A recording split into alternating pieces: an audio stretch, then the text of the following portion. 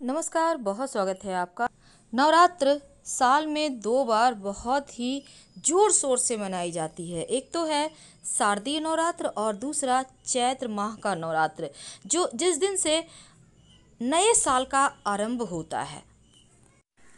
नवरात्र की आप सभी दर्शकों को ढेर सारी शुभकामनाएँ।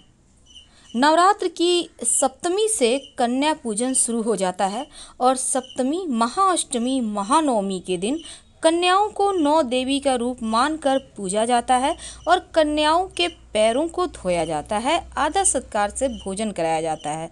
ऐसा करने से माता रानी अपने भक्तों को सुख, सुखी रहने का आशीर्वाद देती हैं और समृद्धि का वरदान भी देती हैं। तो आज हम बात करने वाले हैं कि नवरात्र के दिनों में कन्याओं को, छोटी कन्याओं को आप क्या दें? क्योंकि नवरात्र के दिनों में सिर्फ़ महासप्तमी, महाअष्टमी, महानवमी ही नहीं, बल्कि हर दिन की अलग अलग विधान है कन्या पूजन के और माता रानी को मनाने का। तो आज हम आपके साथ जुड़े हैं बहुत सारी जानकारियों के साथ। आइए जानते हैं विस्तार से, कैसे आप माता रानी को करें प्रसन्न? सबसे पहले तो ये जान लें कि कन्या पूजन जो होता है, उसके लेकर खास प्रयोग होते हैं और हर दिन, हर नवरात्र के हर एक दिन की अलग अलग महत्व है। अब, चूँकि यहाँ पर देखिए, माँ दुर्गा जो हैं, उनके प्रकट होने को लेकर महिषासुर मर्दन तक की अनेक पौराणिक कथाएँ आज भी आपने सुनी होगी, सुना भी जाता है कि क्योंकि महिषासुर को मारने के लिए सभी देवताओं ने अपने अस्त्र शस्त्र उन्हें उपहार में दिए। अब माँ दुर्गा ने शेर की सवारी करना कैसे अपनाया, ये भी बहुत ही ज़रूरी है आपके लिए जानना। एक पौराणिक कथा के अनुसार माँ पार्वती ने भगवान भोलेनाथ को पति के रूप में प्राप्त करने के लिए कठोर तपस्या की। अब तपस्या इतनी कठिन थी कि उनका रंग ही सांवला हो गया और माँ की तपस्या से प्रसन्न होकर भगवान भोलेनाथ पार्वती की तपस्या से प्रसन्न हुए और उनको पति के रूप में मिल गए। अब पौराणिक मान्यता के अनुसार एक दिन की बात है, जब भगवान भोलेनाथ ने माँ पार्वती का उपहास करते हुए उन्हें सांवली कह दिया। इस बात से माता पार्वती नाराज़ हो गईं और उन्होंने फिर से कठोर तपस्या शुरू कर दी। घने जंगल में तपस्या के वक्त माँ पार्वती के पास एक शेर आकर बैठ गया। वह बहुत भूखा था। शेर इस इंतज़ार में बैठ गया कि कब तपस्या खत्म हो और उन्हें खाकर अपनी भूख मिटा ले। उनकी तपस्या में कई साल बीत गए, लेकिन शेर वहीं डटा रहा।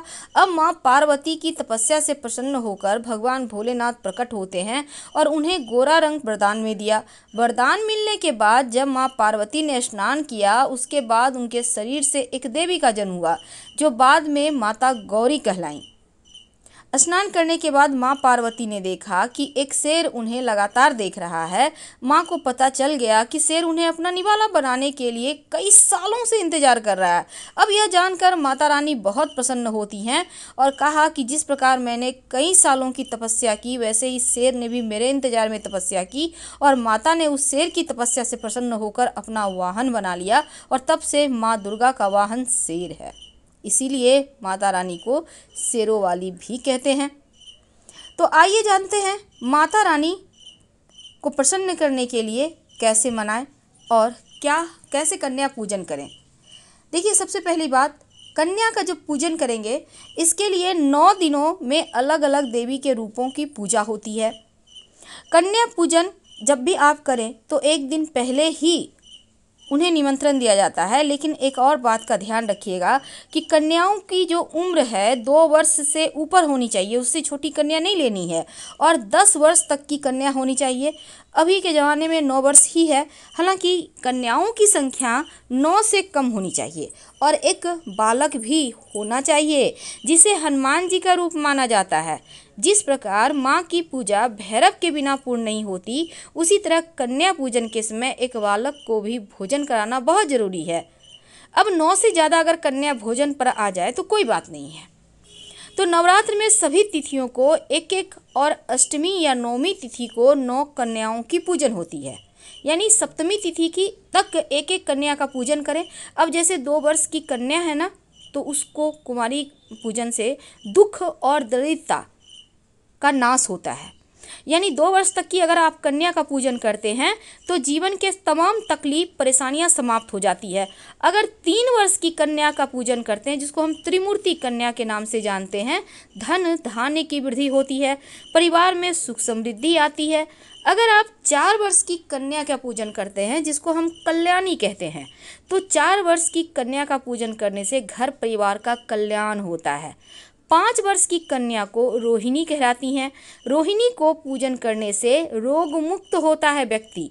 और छः वर्ष की कन्या को अगर आप पूजन करते हैं तो काली का रूप कहा गया है। काली का रूप से विद्या, विजय, राजयोग की प्राप्ति होती है। सात वर्ष की कन्या का पूजन चंडिका का है। और चंडिका रूप का पूजन करने से ऐश्वर्य की प्राप्ति होती है। आठ वर्ष की कन्या सांभवी कहलाती हैं और इसका पूजन करने से वाद विवाद में विजय प्राप्त होती है।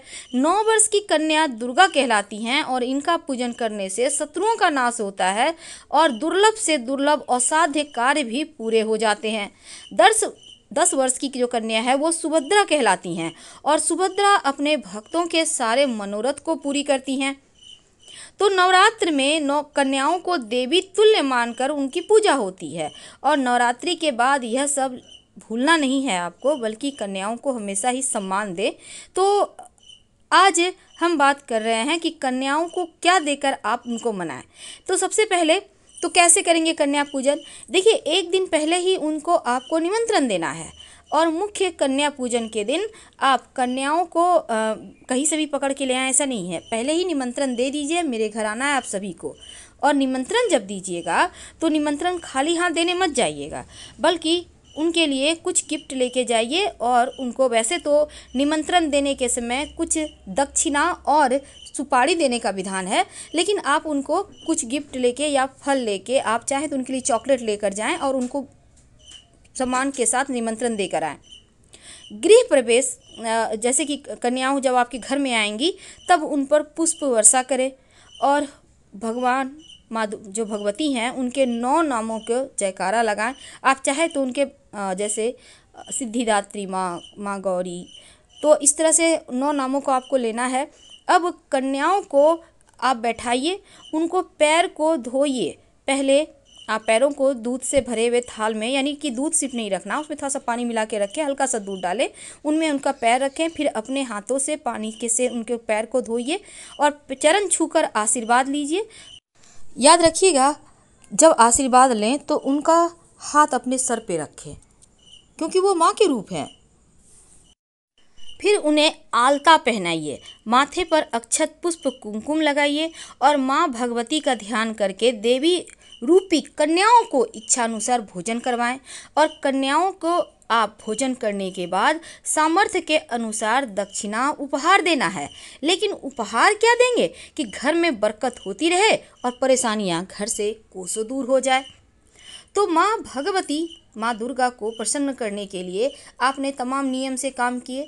उनको भोजन में हलवा पूरी ज़रूर खिलाइएगा और इसके बाद आप जब उनका आशीर्वाद ले लें फिर कन्याओं को आप जब चरण छूइएगा तो उनके आ, उनके हाथों को अपने सर पर रखकर उनसे आशीर्वाद मांगिए। इसके बाद कन्याओं को अगर जीवन में ज़्यादा कष्ट हो जैसे कि नारियल देने का विधान है। अगर आपके घर में छोटी लड़की है तो उसको ही आप नारियल दे सकते हैं। अगर नहीं है तो किसी भी कन्या को अपने हाथों से नारियल दें। इस, आप घर में सुख समृद्धि आएगी, परेशानियों का नाश होगा। अगर कन्या पूजन में आप कन्याओं को केला देते हैं, फल के रूप में तो जीवन के हर कष्ट दूर हो जाते हैं। कैसी भी पीड़ाएँ परेशान नहीं करती। संतान सुख, धन सुख, सब कुछ प्राप्त होता है। वैसे उनकी मनपसंद आप वाटर बोतल टिफ़िन बॉक्स, ड्राइंग के लिए आप सामान, उनके पसंदीदा गिफ्ट्स उन्हें दे सकते हैं, उनके खिलौने दे सकते हैं। और चुंदरी ज़रूर दीजिएगा, क्योंकि छोटी बच्चियों को माँ का रूप मानकर आप बुलाए हैं तो माँ को बिना चुंदरी की माँ की पूजा पूरी नहीं होती तो अपने हाथों से उसको चुनरी ओढ़ा दें। और तमाम श्रृंगार की वस्तु जो होती है, हेयर पिन, हेयर क्लिप, चूड़ियाँ होती हैं, ये सभी चीज़ें उन्हें गिफ्ट में आप दे सकते हैं। और एक बर्तन दे सकते हैं जिसमें वो बार बार खाना खाएँगी तो यकीनन आपके जीवन के कष्ट कम होंगे।